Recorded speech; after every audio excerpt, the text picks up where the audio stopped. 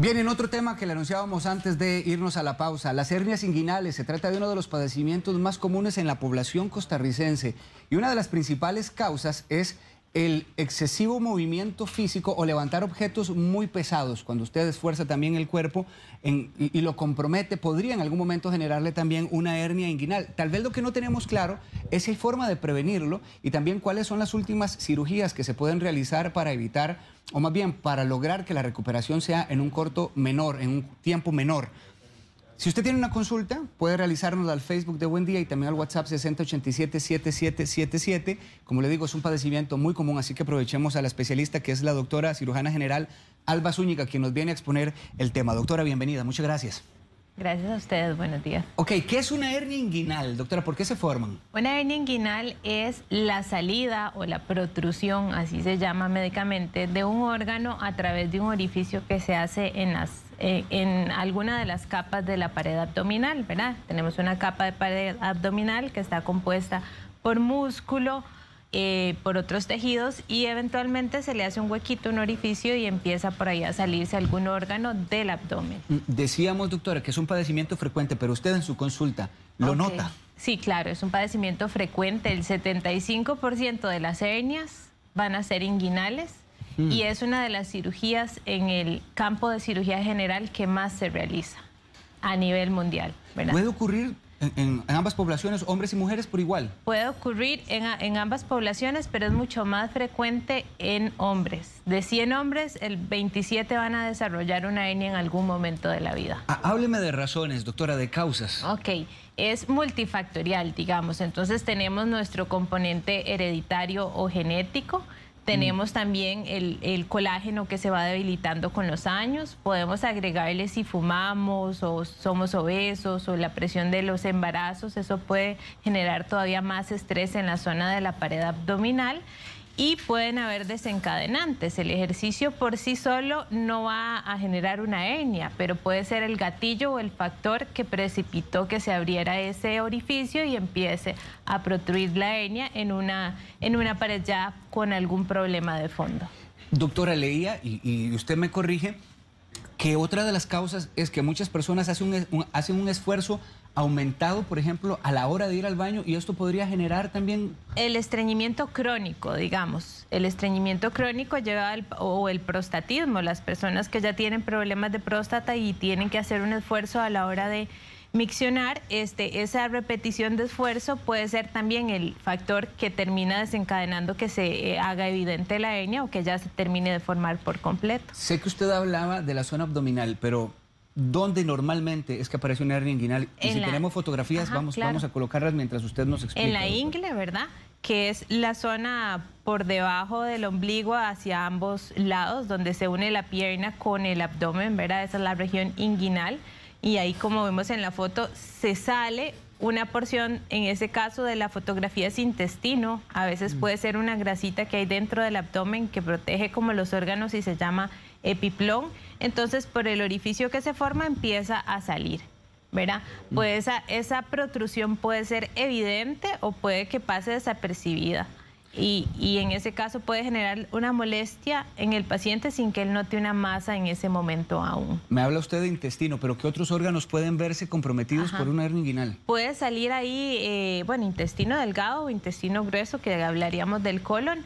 Puede también una grasita que se llama epiplón, que cubre como que es un mantelito, un delantal que tenemos sobre las asas del intestino. Ella podría empezar a salir por esa zona. O ambos, ¿verdad? ¿Por qué nota uno o, pacientes que han descrito, doctora, que a veces se nota la hernia y otras veces como si no estuviera? Eso depende del tamaño, ¿verdad? Ella empieza, eh, el orificio se forma y empieza, puede ser que no salga mucho, mucho eh, órgano esté comprometido en ese momento, o puede que sea más la cantidad que sale y el bulto se hace más evidente. Hay hernias que bajan al escroto inclusive, ¿verdad? Entonces el paciente siente una masa en escroto, se ve el testículo aumentado de tamaño eh, por la hernia en sí. Le quería preguntar también cuánto puede evolucionar en cuanto a tamaño una hernia inguinal. La hernia, si la dejamos evolucionar a través del tiempo, puede llegar a ser enorme, puede llegar a tener un anillo que es el orificio que se forma de 8 o 10 centímetros inclusive. No es lo más frecuente, ¿verdad? Porque usualmente un paciente va a consultar antes cuando siente un bulto ya moderadamente grande o molesto, pero hay personas que las han dejado evolucionar por años y llegan a tener esos tamaños. Hablemos también de otra parte que no hemos mencionado, doctora, y es el factor de riesgo de la obesidad. ¿Qué tan importante es esto? El factor de riesgo de la obesidad es importante porque en sí aumenta la presión del abdomen, ¿verdad? Por, por la obesidad por sí, debilita los tejidos y es un factor para la recurrencia de la hernia. ¿Qué quiere decir eso? Las hernias tienden a volver a formarse, son una zona de debilidad que existe en mi pared abdominal. Entonces, muchas personas, si aumentan de peso o mantienen obesidad después de una cirugía, tienen más riesgo de que recurra o se vuelva a formar la hernia. También leía que incluso la tos que es generada producto del tabaquismo, que es crónica, podría generar también la aparición. Claro, la tos porque es un esfuerzo constante, igual que lo que hablamos del estreñimiento. Y le sumamos que el tabaquismo eh, debilita la circulación de los tejidos, la circulación más pequeña. Entonces mis tejidos son de mala calidad y más débiles y más vulnerables a sufrir lesiones que no se reparen, digamos porque la circulación que llega a ellos no es buena. Síntomas, doctora, ¿cómo puede comenzar a sospechar el paciente que tiene una hernia inguinal? Puede tener una molestia, ¿verdad? Más que un dolor constante o un ataque de dolor, es una molestia, un ardor, una sensación asociada a ciertos movimientos. Puede notar el bulto, el abultamiento que puede salir. Puede ser que aparezca en ciertos momentos y en otros no, porque entonces este órgano que se mete en la hernia entra y sale, ¿verdad? No está ahí atrapado. Entonces, por eso el paciente a veces puede sentir el bulto y en otras ocasiones no. Ya si se quedó atrapado, puede sentir un bulto constante y ya si al quedarse atrapado ya se encarcela, que es cuando le falta circulación, va a tener un dolor muy, muy intenso puede tener náuseas, vómitos y usualmente va a consultar algún servicio de emergencias porque el dolor es muy intenso. En la zona de la ingle, ¿el paciente podría experimentar algo específicamente? ¿Algún dolor, alguna presión diferente? Eh, mm, no, va a sentir un dolor en la zona inguinal. Eh, ahí es donde va a sentir el dolor. Puede asociarlo a ciertos ejercicios físicos, a ciertas actividades, la aparición del dolor.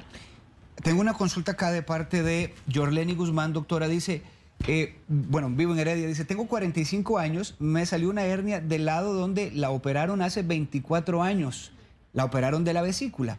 ¿Qué otra forma existe para quitarla? Y quiere saber también por qué en la zona donde la operaron apareció una hernia, creo que ya es más incisional. correcto. Esta es una hernia incisional. Eh, y la formación de las hernias incisionales es un poco diferente, ¿verdad? Tenemos una herida y a la hora de cicatrizar, si el proceso no se da en forma correcta o se da en forma correcta y luego se somete a algún estrés, puede formar una hernia. Entonces es una zona de debilidad creada por la misma cirugía que era necesaria y entonces ahí se puede formar una hernia. ¿Pueden aparecer a cualquier edad, doctora? Pueden aparecer a cualquier edad.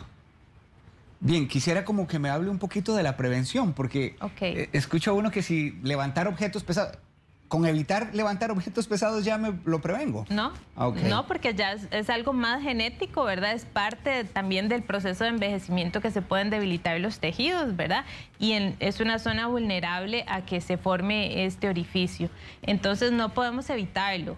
Eh, no, por completo, ¿verdad? Pero el tener buenos hábitos, no fumar, mantener un peso adecuado, eh, técnicas correctas de alzar peso, no sobrepasarme. Si es una persona que practica eso y lo haciendo paulatinamente, son factores que evitan hasta cierto punto o, protegen, ¿verdad?, de, la, de la aparición del Hablaba usted del colágeno.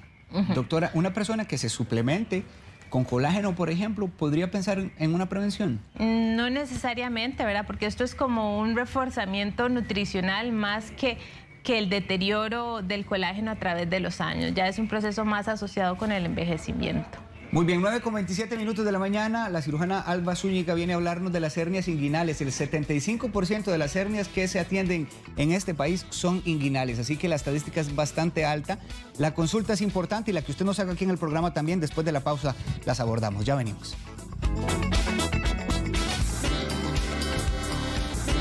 Nuevamente, gracias por su compañía. La cirujana general Alba Zúñiga está hablándonos acerca del abordaje que hay que tener con las hernias inguinales. Yo estoy seguro que usted también quiere saber cómo se tratan y qué dice ahora el avance de la ciencia con respecto a esto. Antes de entrar ya en el detalle del tratamiento, nos explicaba la doctora también que existe una especie de hernia inguinal llamada femoral, a la que también hay que tenerle mucho cuidado y usted nos explica por qué, doctora. Claro que sí.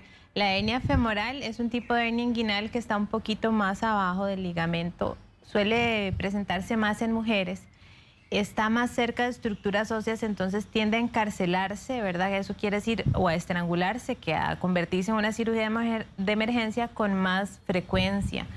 Eh, entonces está un poquito más escondida, hay que tener un poco más de sospecha y cuidado para detectarla, pero entonces es importante estar conscientes también que hay dolorcitos más abajo que podrían corresponder a este tipo de hernia, sobre todo en mujeres. Sí, este es un concepto, lo que usted decía, doctora, que ya he leído en varias ocasiones de hernia encarcelada y que ya es considerado una complicación. ¿Qué es una hernia encarcelada? Una hernia encarcelada es cuando este órgano que se está metiendo a través del orificio se quedó prensado de tal forma que ya no le llega la circulación que él necesita. Entonces, si dejamos que pasen muchas horas, este tejido va a morir.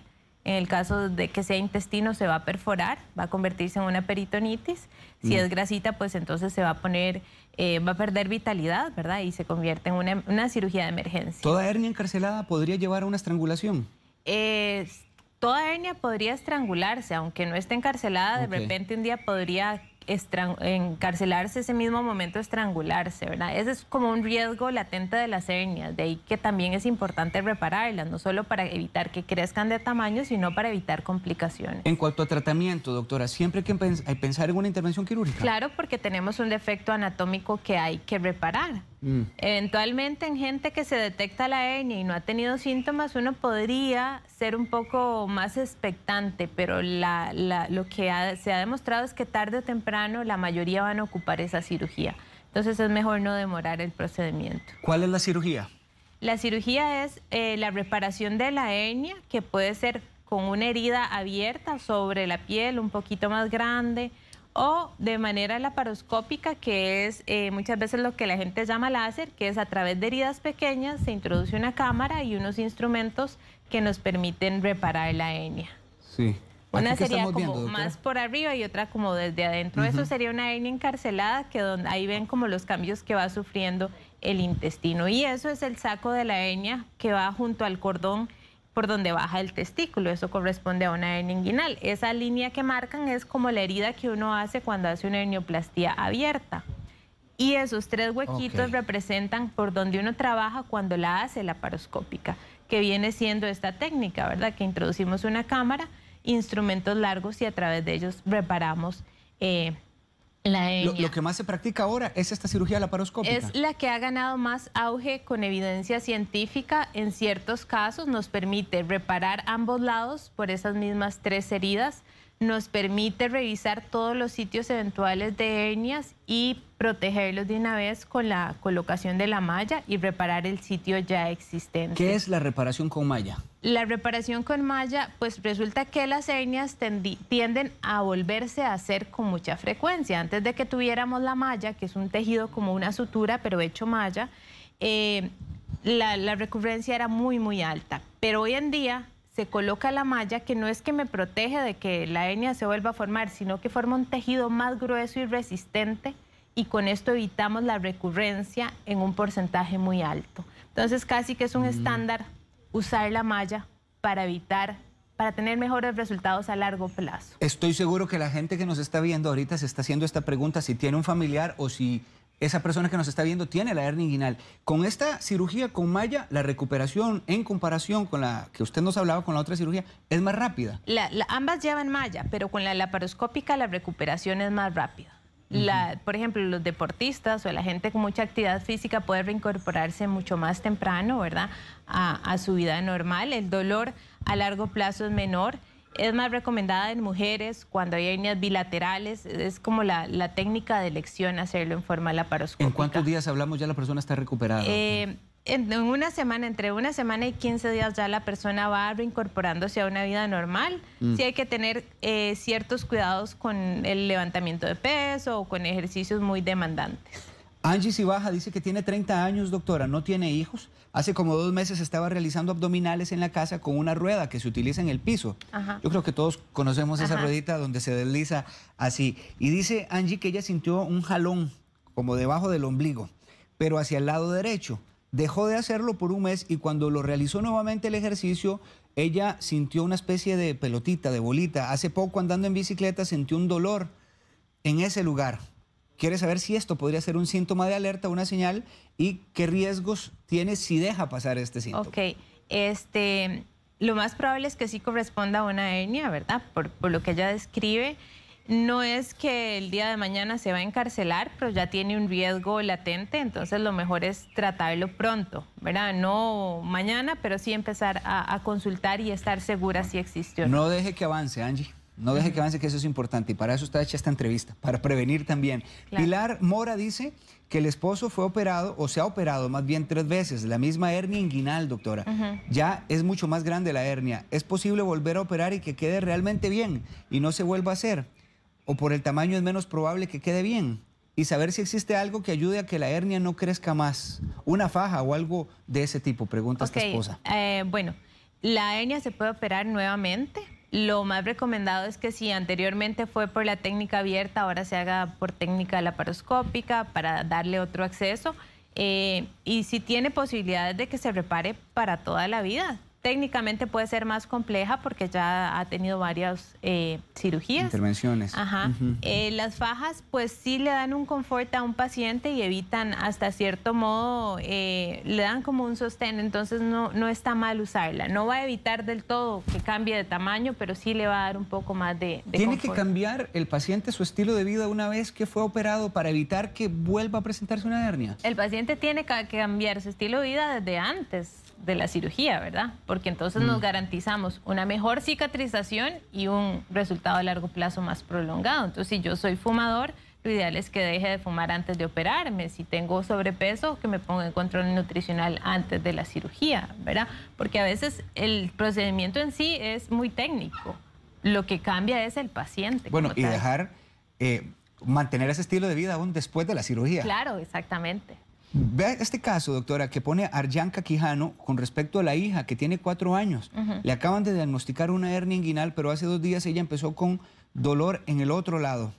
Supongo que en el otro lado abdominal. ¿Será normal que se refleje el dolor en otra zona? Puede ser, o puede ser más bien que tenga una hernia en ambas ingles, ¿verdad? En, los, en, el caso de los niños son más congénitas, ya se nace con las hernias más que se desarrollan, ¿verdad? Tenemos hernias con las que nacemos y otras que se desarrollan a través del tiempo y creo que el cirujano pediatra podría examinarla para determinar si es eso.